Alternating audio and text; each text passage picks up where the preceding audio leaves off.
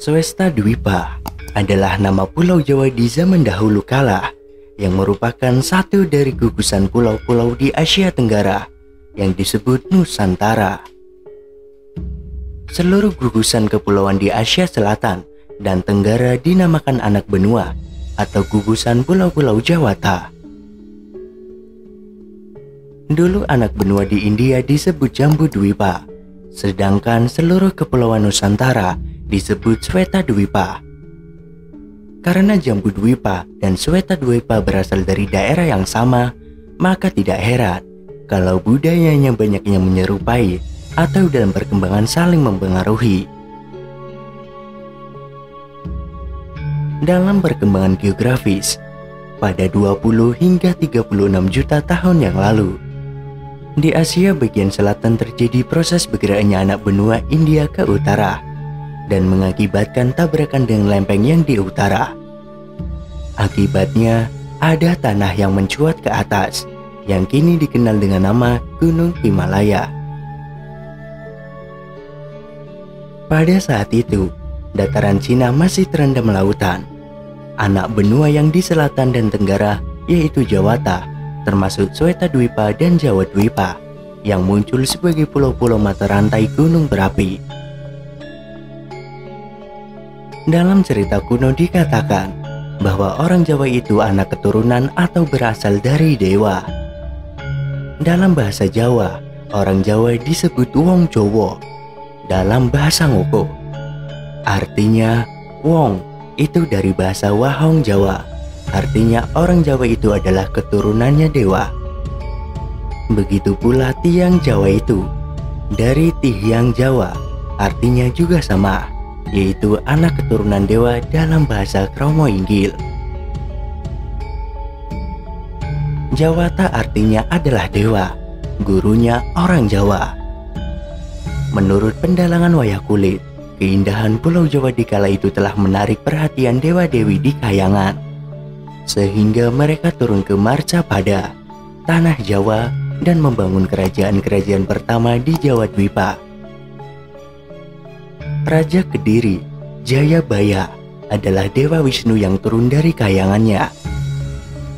Jayabaya amat populer di Jawa dan di Indonesia karena ramalannya yang akurat mengenai sejarah perjalanan negeri ini dan berisi nasihat-nasihat bijak bagi mereka yang memegang tampuk pimpinan negara, para priai atau pejabat negara, tetapi juga untuk kaula biasa.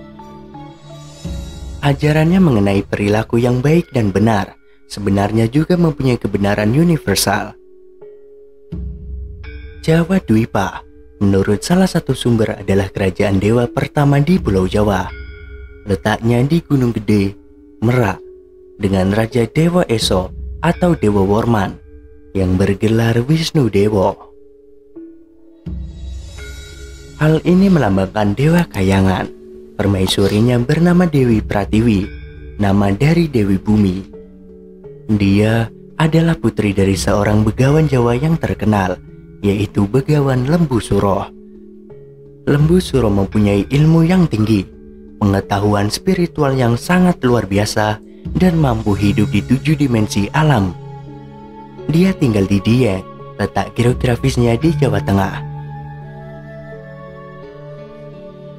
Perkawinan Wisnu Dewa dengan Dewi Pratiwi melambangkan turunnya dewa yang berupa sukma untuk menetap di bumi.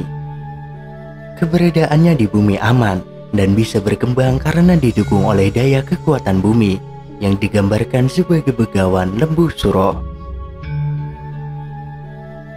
kecantikan Pulau Jawa bahkan menarik hati rajanya para dewa, yaitu Batara Guru, untuk mendirikan kerajaan di bumi.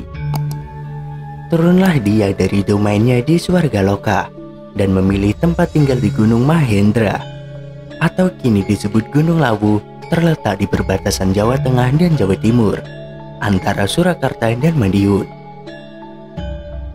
Bahtara Guru mempunyai nama lain Sang Hyang Jagat Nata, Ratunya Jagat Raya, The King of the Universe, dan Sang Hyang Kirinata, atau Ratunya Gunung-Gunung, The King of Mountains.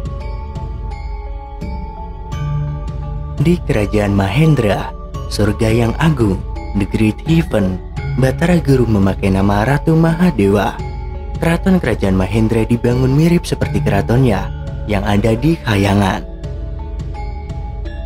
Piranti-piranti surga juga dibuat, di antara lain yaitu gamelan, seperangkat alat musik untuk hiburan para dewa dengan menikmati alunan suaranya yang merdu dan saat sedang menari atau olah beksa.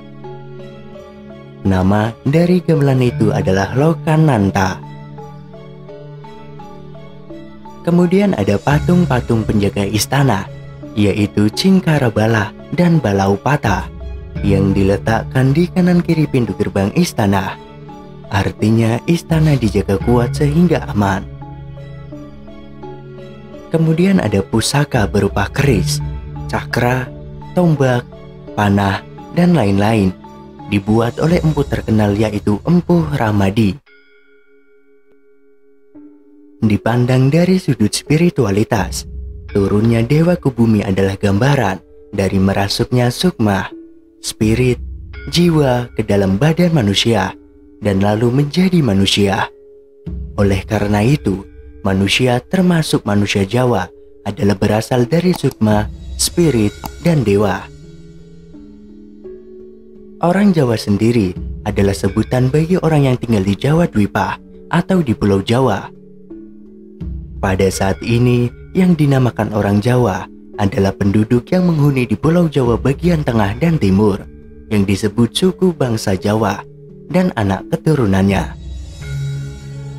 Pada umumnya, mereka masih melestarikan budaya, adat istiadat, warisan nenek moyangnya, dan berbicara bahasa Jawa.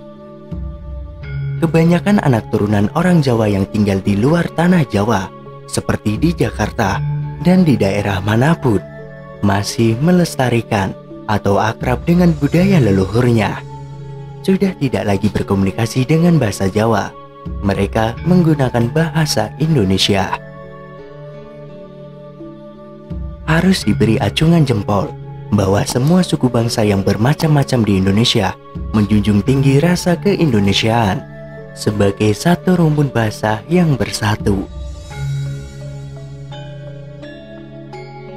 Menurut Profesor M.R. Harjono almarhum, guru besar Universitas Gajah Mada di tahun 1980-an, mengatakan mengenai arti Jawa atau Jawi dari sudut pandang kebatinan. Banyak orang yang sebenarnya tidak mengerti arti kata Jawa atau Jawi. Ja itu artinya lahir, dan wi artinya burung. Jadi seperti burung, manusia itu lahir melewati dua tahapan untuk menjadi manusia yang sempurna. Yang pertama, terlahir sebagai telur, baru kemudian terbuka menjadi burung.